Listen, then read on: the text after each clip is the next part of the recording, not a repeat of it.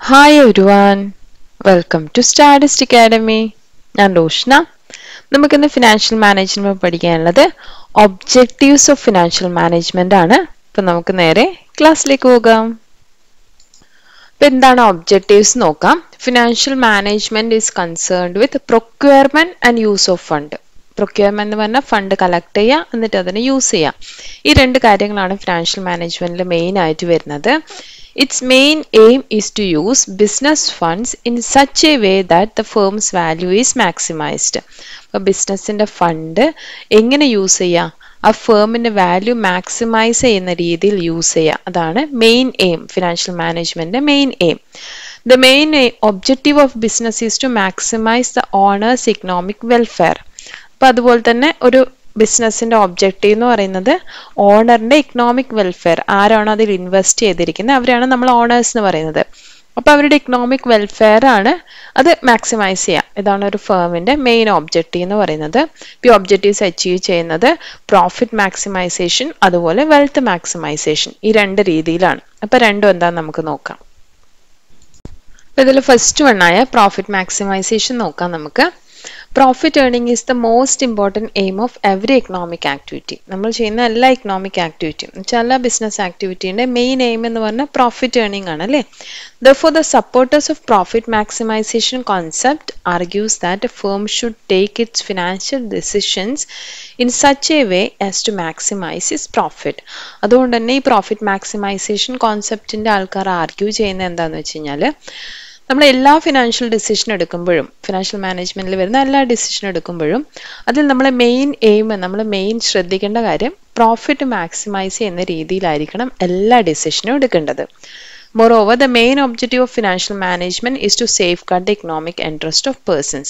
ഇപ്പോൾ നമ്മൾ ഓൾറെഡി പറഞ്ഞിട്ടുണ്ട് ഫിനാൻഷ്യൽ മാനേജ്മെന്റ് മെയിൻ എയിം എന്ന് പറഞ്ഞാൽ ഇക്കണോമിക് ഇൻട്രസ്റ്റ് സേഫ് ഗാർഡ് ചെയ്യാനാണ് അപ്പം അത് അതിലുള്ള എല്ലാ ഇൻട്രസ്റ്റഡ് പാർട്ടീസിന്റെയും എക്കണോമിക് ഇൻട്രസ്റ്റ് സേഫ് ഗാർഡ് ചെയ്യണമെന്നാണ് പറയുന്നത്.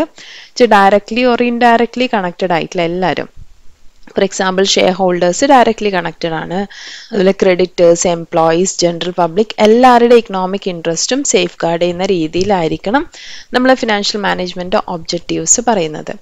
These parties have contributed fund with which the companies carrying on its operation എന്ന് വെച്ചാൽ അവരാണ് ബിസിനസ്സിന് വേണ്ടിയുള്ള ഫണ്ട് പ്രൊവൈഡ് ചെയ്യുന്നത്. അതുകൊണ്ട് തന്നെ അവരുടെ ഇൻട്രസ്റ്റ് നമ്മൾ സേഫ് ഗാർഡ് ചെയ്യണം.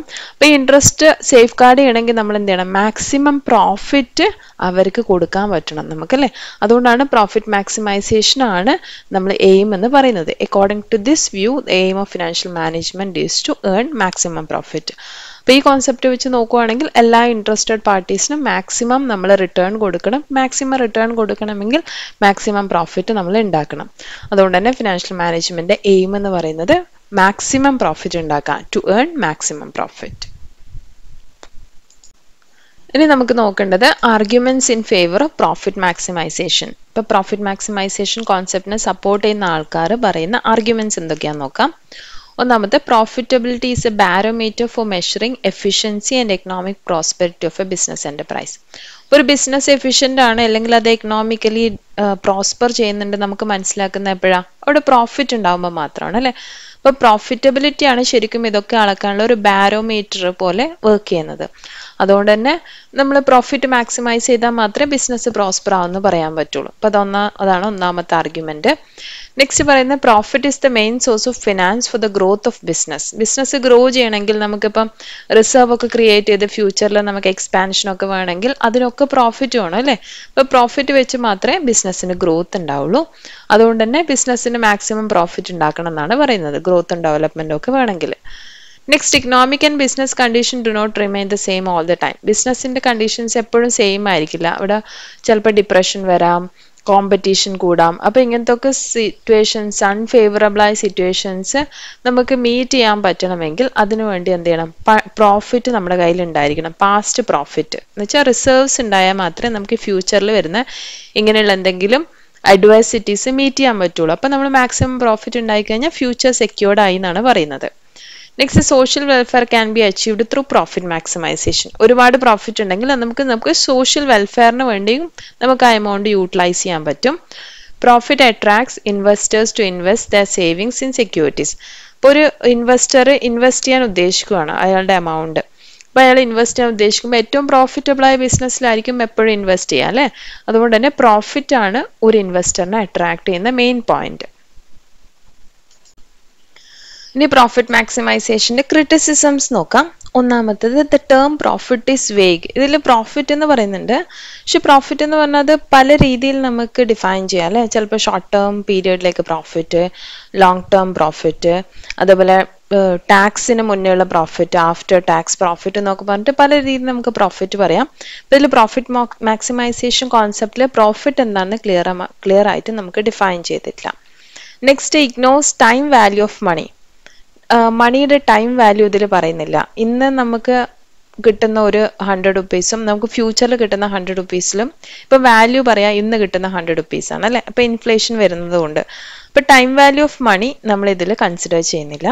നെക്സ്റ്റ് ഇഗ്നോസ് റിസ്ക് ഫാക്ടർ നമ്മൾ പ്രോഫിറ്റ് കൂടുതൽ ഉണ്ടാക്കുന്നതാണ് എഫിഷ്യൻസി എന്ന് പറയുന്ന ഈ കോൺസെപ്റ്റിൽ പക്ഷെ പ്രോഫിറ്റ് കൂടുതൽ ഉണ്ടാക്കുന്ന രണ്ട് ഇൻഡസ്ട്രീസ് ഉണ്ട്.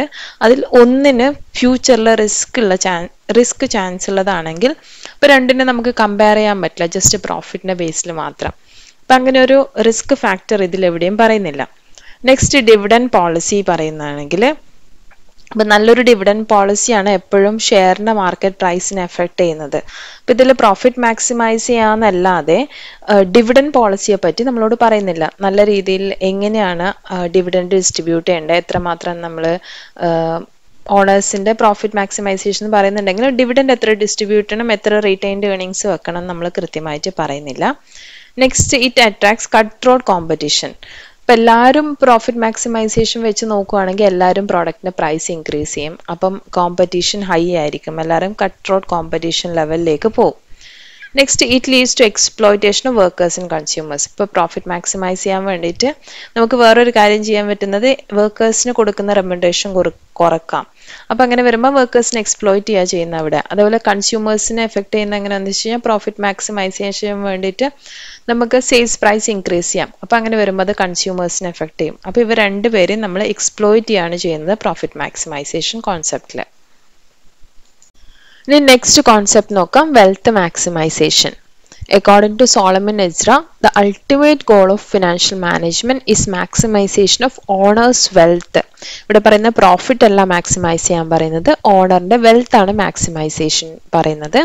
മാക്സിമൈസേഷൻ ഓഫ് വെൽത്ത് എന്ന് പറഞ്ഞു കഴിഞ്ഞാൽ maximisation of market price per share in the long run long റണ്ണിൽ ബിസിനസ്സിന്റെ ഷെയറിന്റെ മാർക്കറ്റ് പ്രൈസ് മാക്സിമൈസ് ചെയ്യാം. അതാണ് മാക്സിമൈസേഷൻ ഓഫ് വെൽത്ത് എന്നുകൊണ്ട് ഉദ്ദേശിക്കുന്നത്.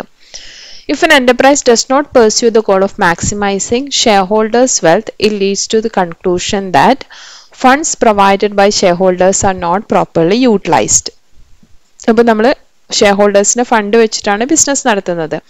ഇപ്പം ലോങ് റണ്ണിൽ ബിസിനസിന്റെ ഷെയർ ഹോൾഡേഴ്സിന്റെ വെൽത്ത് ഇൻക്രീസ് ചെയ്തില്ല. എന്ന് വെച്ചാൽ ഷെയറിന്റെ പ്രൈസ് ഇൻക്രീസ് ചെയ്തില്ലെങ്കിൽ മാർക്കറ്റ് പ്രൈസ് ഇൻക്രീസ് ചെയ്തില്ലെങ്കിൽ അതിന്റെ അർത്ഥം ഈ ഫണ്ടൊക്കെ നമ്മൾ പ്രോപ്പർലി യൂട്ടിലൈസ് ചെയ്യുന്നില്ലെന്നാണ് കൺക്ലൂഷൻ വരുന്നത്.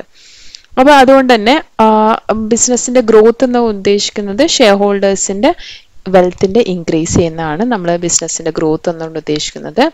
According to Prasanna Chandra equity shareholders provide the venture capital venture capital എന്ന് പറഞ്ഞാൽ risk capital required to start the business. Business start ചെയ്യാനുള്ള ഫണ്ട് കൊടുക്കുന്നത് ഇക്വിറ്റി ഷെയർ ഹോൾഡേഴ്സ് ആണ്.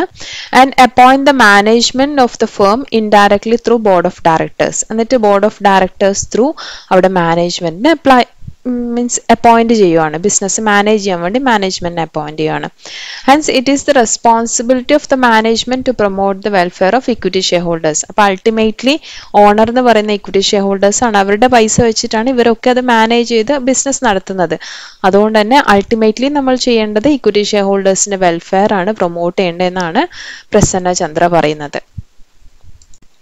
ഇനി നമ്മുടെ വെൽത്ത് മാക്സിമൈസേഷന് ഫേവർ ആയിട്ട് വരുന്ന ആർഗ്യുമെന്റ്സ് നോക്കാം. ഒന്നാമത്തെ the objective of wealth maximisation is always consistent with the objective of owner's economic welfare നമ്മൾ പറഞ്ഞ ഫിനാൻഷ്യൽ മാനേജ്മെന്റ് എയിം എന്ന് പറയുന്നത് ഓണേഴ്സ് ഇക്കണോമിക് വെൽഫെയർ ആണ്. അപ്പോൾ ആ ഇക്കണോമിക് വെൽഫെയർ എന്നുള്ള പോയിന്റ് നമുക്ക് ഈ വെൽത്ത് മാക്സിമൈസേഷൻ കൊണ്ട് നമുക്ക് കൃത്യമായിട്ട് അച്ചീവ് ചെയ്യാൻ പറ്റുന്നുണ്ട്. Wealth maximisation protects the interest of all the stakeholders of a company and the society as a whole അപ്പോൾ ഇതിൽ ഓരോ എല്ലാവരുടെ കാര്യവും നമ്മൾ നോക്കുന്നുണ്ട് അല്ലേ? നമ്മൾ സ്റ്റേക്ക് ഹോൾഡേഴ്സിന്റെയും അതേപോലെ തന്നെ സൊസൈറ്റിയുടെയും മൊത്തം വെൽത്ത് മൊത്തം ഇൻട്രസ്റ്റ് നമ്മളിവിടെ പ്രൊട്ടക്റ്റ് ചെയ്യുന്നുണ്ട്. Next it ensures long term growth and survival of the company നമ്മളിതിൽ പറയുന്ന ലോങ് ടേം ആയിട്ടുള്ള കമ്പനിയുടെ ഷെയറിന്റെ പ്രൈസ് ഇൻക്രീസ് ചെയ്യുക എന്നുള്ളതാണ്. അപ്പോൾ ലോങ് ടേം ഗ്രോത്തും സർവൈവലും ആണ് ഇവിടെ എൻഷുർ ചെയ്യുന്നത്. Next it takes into consideration risk factor and time value of money ഇപ്പോൾ റിസ്ക് ഫാക്ടറും ടൈം വാല്യൂ ഓഫ് മണിയും ഒക്കെ ഇതിൽ ഓട്ടോമാറ്റിക്കലി കൺസിഡർ ചെയ്ത് വരുന്നുണ്ട്. ബിക്കോസ് നമ്മൾ ലോങ് റണ്ണിലാണ് ഒന്നാമത് നോക്കുന്നത്. അപ്പോൾ ടൈം വാല്യൂ ഓഫ് മണി അവിടെ കൺസിഡർ ചെയ്യുന്നുണ്ട്. പിന്നെ റിസ്ക് ഫാക്ടറും കൂടി നോക്കിയിട്ടാണ് നമ്മൾ ഷെയറിന്റെ വാല്യൂ മാർക്കറ്റ് പ്രൈസ് നമുക്ക് വരുന്നത്. അപ്പോൾ അതൊക്കെ ഓൾറെഡി അതിൽ കൺസിഡേർഡ് ആണ്. Next it guides a management in framing a suitable dividend policy അപ്പോൾ ഡിവിഡൻഡിനെ ഡിപ്പെൻഡ് ചെയ്തിട്ടാണ് നമുക്ക് ഷെയറിന്റെ വാല്യൂ ഇരിക്കുന്നത്. അതുകൊണ്ട് തന്നെ നല്ലൊരു ഡിവിഡൻഡ് പോളിസി അവിടെ ഫ്രെയിം ചെയ്യാൻ വേണ്ടി മാനേജ്മെന്റിന് അത് എന്തായാലും മാനേജ്മെന്റിനെ കമ്പൽ ചെയ്യും. നല്ലൊരു ഡിവിഡൻഡ് പോളിസി ഉണ്ടാവണം എന്ന് പറഞ്ഞിട്ട്. It ensures that the resource of an organisation have been used effectively to accomplish the objectives of the organisation അതേപോലെ തന്നെ നമുക്ക് ഷെയറിന്റെ വാല്യൂ ഇൻക്രീസ് ചെയ്തെന്ന് പറഞ്ഞു കഴിഞ്ഞാൽ പ്രോഫിറ്റബിളി ആയിന് പോകുന്നതെന്നും കൂടി അർത്ഥമുണ്ട്. അപ്പോൾ അതുകൊണ്ട് തന്നെ നമുക്ക് ഓർഗനൈസേഷനിൽ ഷെയർ ഹോൾഡേഴ്സ് കൊടുത്തിരിക്കുന്ന അത്രയും ക്യാപിറ്റൽ അല്ലെങ്കിൽ റിസോഴ്സസ് നല്ല രീതിയിൽ എഫക്റ്റീവ്ലി യൂട്ടിലൈസ് ചെയ്തിട്ടുണ്ട് എന്ന് നമുക്ക് എൻഷുർ ചെയ്യാൻ പറ്റും. നെക്സ്റ്റ് വെൽത്ത് മാക്സിമൈസേഷന്റെ ക്രിറ്റിസിസം നോക്കാം. ഒന്നാമത്തെ പറയുന്നത് wealth maximisation objective is not descriptive of what firms actually do ഇപ്പോൾ ഫേംസ് ആക്ച്വലി എന്താ ചെയ്യുന്നത് എന്ന് നമ്മൾ അതിൽ കൃത്യമായിട്ട് പറയുന്നില്ല. Next there is some difference of opinion as to whether the objective is in in maximisation maximise the shareholders wealth or the wealth of the firm ഇവിടെ wealth maximisation എന്ന് പറയുമ്പം അത് ഷെയർ ഹോൾഡറിന്റെ വെൽത്ത് ആണോ അതോ വെൽത്ത് ആണോ എന്ന് കൃത്യമായിട്ട് പറഞ്ഞിട്ടില്ല. എന്ന് വെച്ചാൽ ഫേമിന് കുറേ അസറ്റ്സ് ഉണ്ടാവണം എന്നാണോ അതോ ഷെയർ ഹോൾഡേഴ്സിന്റെ വെൽത്ത് മാക്സിമൈസ് ചെയ്യണം എന്നാണോ? The objective of wealth maximisation is not necessary socially socially desirable ഇപ്പോൾ സോഷ്യലി ഡിസൈറബിൾ ആവണമെന്നില്ല ഈ വെൽത്ത് മാക്സിമൈസേഷൻ കോൺസെപ്റ്റ് നെക്സ്റ്റ് പറയുന്നത് the objective of wealth maximisation may also face difficulty when ownership and management separated ownership മാനേജ്മെന്റും separate ആണ്. Owners അല്ലാതെ manage ചെയ്യുന്നതെങ്കിൽ അവർ തമ്മിൽ കോൺഫ്ലിക്ട്സ് ഉണ്ടാവുക അല്ലേ? അപ്പം അങ്ങനത്തെ കോൺഫ്ലിക്ട്സ് ഓഫ് ഇൻട്രസ്റ്റ് ഇവിടെയും വരാൻ ചാൻസ് ഉണ്ട്. അപ്പം നമ്മൾ ഇത്രയും ക്രിറ്റിസിസംസ് ഒക്കെ പറയുന്നുണ്ടെങ്കിലും in spite of all criticism wealth maximisation is consider superior to profit maximisation profit മാക്സിമൈസേഷനും കാട്ടും സുപ്പീരിയർ ആയിട്ട് വെൽത്ത് മാക്സിമൈസേഷനെ തന്നെ കൺസിഡർ ചെയ്യുന്ന എന്തുകൊണ്ടാന്ന് വെച്ചാൽ profit maximisation measures performance of a firm in terms of profit only profit maximisation നമ്മൾ പറയുന്നത് profit മാത്രമാണ് ഒരു ബിസിനസ് എഫക്റ്റീവ് ആണോ അല്ലയോ എന്ന് കൺസിഡർ ചെയ്യുന്ന ഒരേ ഒരു ഫാക്ടർ എന്ന് പറയുന്നുണ്ട്. പക്ഷെ വെൽത്ത് മാക്സിമൈസേഷനിലാണെങ്കിൽ അതൊരു ലോങ് ടേം ആയിട്ടുള്ള ഗോൾ ആയിട്ട് നമ്മൾ പറയുന്നത് അല്ലേ?